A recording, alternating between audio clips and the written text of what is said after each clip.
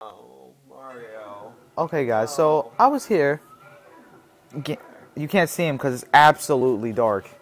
Not him, the lighting. Anyways, One of those things is dark. we were playing some Super Mario 64 and eating some junk food that you will not be able to see, hence why it's so dark. And this is what has been going on for the past while now. Just, just take a load of this, guys. Oh god, it even looks like it's happening from this thing right here.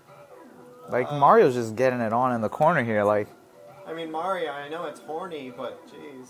we've been here for so long, guys. Actually, like four minutes. But Yeah, flying's great. this is just like I guess this is a glitch, right?